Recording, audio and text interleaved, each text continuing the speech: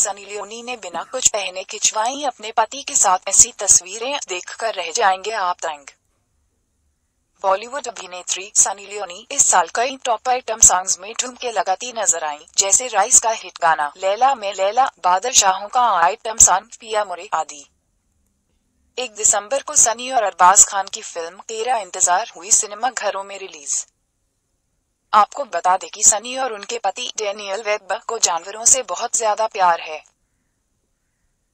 इस प्यार को जताए हुए दोनों ने एटा के लिए हाल ही में एक फोटोशूट किया जिससे वह जानवरों को मारकर बनाए गए कुपेड़ों के खिलाफ अपनी आवाज़ उठा रहे हैं। सनी ने सोशल मीडिया पर इस फोटोशूट से एक तस्वीर की।